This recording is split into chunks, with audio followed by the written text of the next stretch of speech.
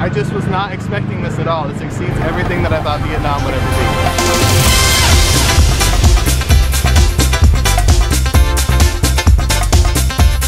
be. Good morning from Saigon or Ho Chi Minh City. I'm so excited to be here. Like I said last night, it just does not feel real. I'm really excited because we're about to explore the War Remnants Museum, which goes over the entire Vietnam War with the United States. So we thought we would pay our respects to the fallen people of the Vietnamese and, um, you know, take in what exactly happened here. Yeah, go there first, but first, breakfast.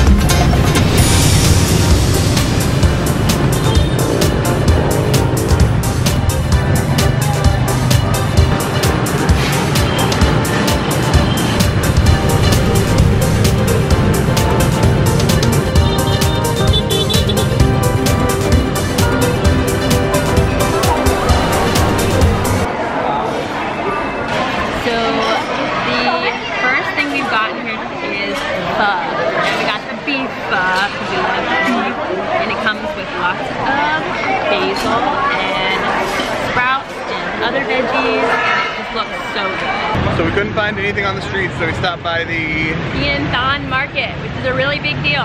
yeah. It was really good. We got beef pho.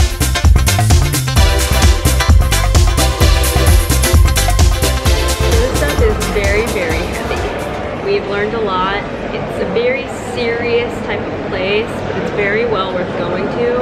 Eye-opening, and written by so many different countries, so I thought it was going to be only one person's perspective, but it's multiples. And apparently a lot of the information that's here in this museum was given by the United States. So I think it's, Yeah, interesting. it's very interesting. We've learned a lot.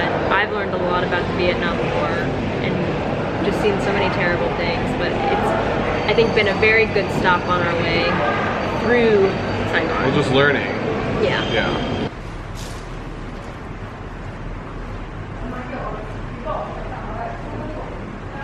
Wow, that was like a lot. Um, I didn't realize that the United States used Agent Orange so much. I mean, I heard the term, but I didn't know it was like they sprayed like a 16th of the whole country.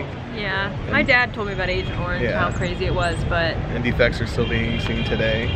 But it was also interesting that the U.S. was involved in the war like in the 50s. We didn't realize that it was that old. We thought it was something Yeah. that was just the Vietnam War and The there was no like backstory of it all. precursor. Yeah. So so we've learned a lot. Yeah. We really have. We didn't realize the whole backstory. and the length, it's like we, we had involvement for over 20 years. Yeah, yeah. 17 plus years. Yeah. It's a lot. It was a lot to take in. I, we think this was a really great stop on our adventure here in Saigon. Yeah. To like realize why Yeah. the United States and Vietnam are not close partners and why we were kind of forbidden to come here for a long time. So, so it, it's not a pleasant story at all, and we saw a lot of really terrible things. but, it's one we needed to learn. Yes. Crazy. It's a mobile market. She carried this on her shoulder. The fire is pressing the waffles, and then she puts them in plastic sacks and sells them. What happened? Bird pooped on me. I think. Uh-oh. That's good luck, right? Uh, so what is this? What are we looking at? I did some research, and there's just like this cool park that's in the middle of a traffic circle. And I don't know how to pronounce that, but it's a very pretty park.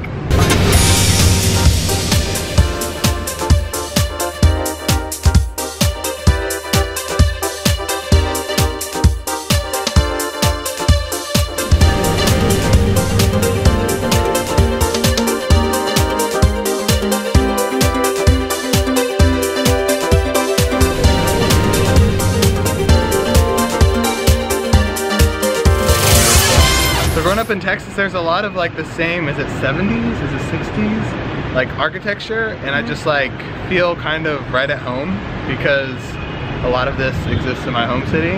So it's, it's weird because came here, it's like all these different things, but like this sharp edges, like look. You know what I'm talking about? Nope. Oh, yeah. bubblegum cotton candy bubblegum. Bubblegum cotton candy froster. Time to cool off. Now we're going to the post office to send our grandma's.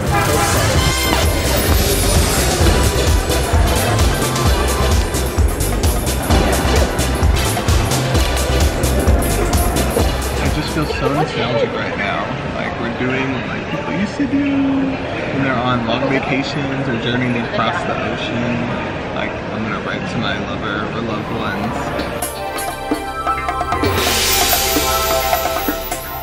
If you want to be the recipient of a postcard from a foreign destination, sign up on our Patreon page and support us. And this could be you. So it took a little of explaining, but we got we got these Vietnamese postcard stamps. We had we need two for each postcard. We got six. Enough for six postcards. And so I was like, you can't like peel it or anything. So I was like, do I lick it? She was like, no, no, no. Dip in the water.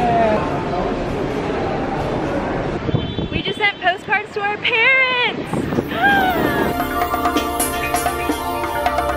We have just stepped into Beverly Hills.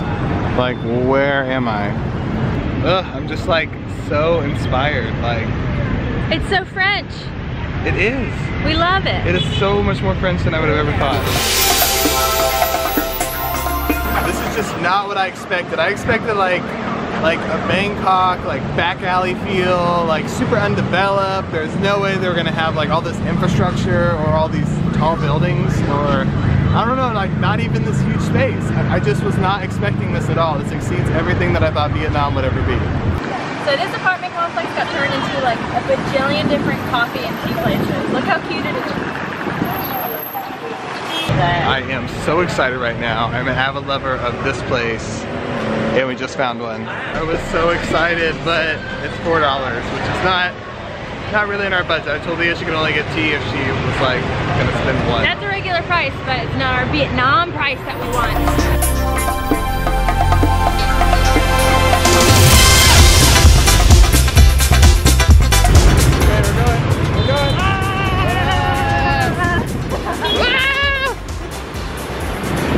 So it has just been so peaceful, just sitting here, taking in, this is not the Mekong, it's the what? Song Saigon. San Saigon River, sorry about that. And it's just like so peaceful and Leah said that she feels like she's in Seattle. I feel like I'm living my Pirates of the Caribbean dream because there's like coconuts floating up on this ramp that looks very, very old. So like the pirate ship could just like come and dock, I don't know. But super nice, super relaxing and just like a great day.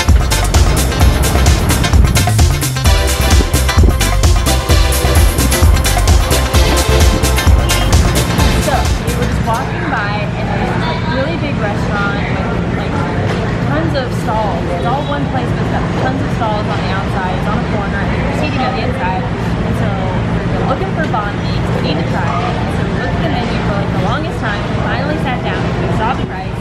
And we sat down and we ordered one banh mi. I don't know what that is. It's gonna look, it looks amazing. And then I ordered a milk coffee ice. Thank you.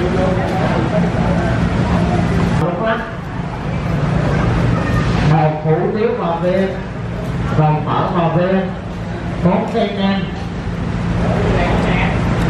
It tastes like a really good ham sandwich. Yeah, nice coffee.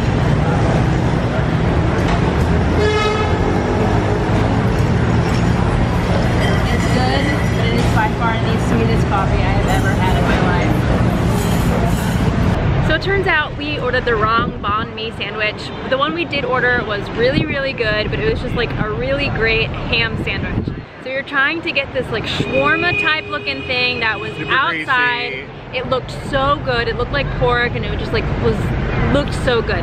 So then after we ate our first banh mi sandwich, we went out and we ordered another one and I made sure to point to what we wanted. and we right got this it. time. And we ate it too quickly to even video it.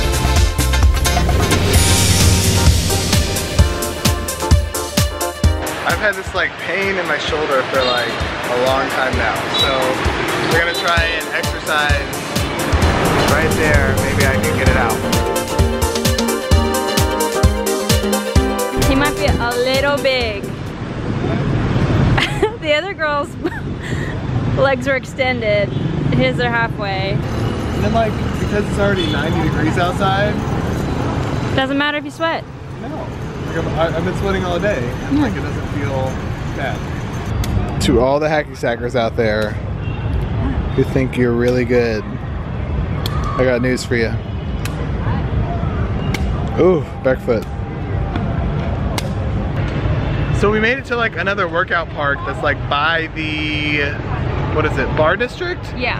And it's full of people. It's like 8 o'clock on a Saturday. They're playing frisbee, Soccer, uh, whatever that beanbag game that I just showed you. Like, I'm really confused. badminton. Why, why don't we exercise in America on Saturday night? It's like, oh, let's watch Netflix, or like do nothing, or like go to the bar. Like these people are exercising. Like Or parents with here hanging out. children, Yeah. and like people And running. it's Saturday night. People are just hanging out. Just, well, like Saturday night is late. I'm just, this is awesome. So that was amazing. Leah is such a trooper. She was tired at like four and it's almost, it's nine o'clock now. So she did five hours more than we expected and she didn't even have dinner. Like I don't understand. Good job, good job.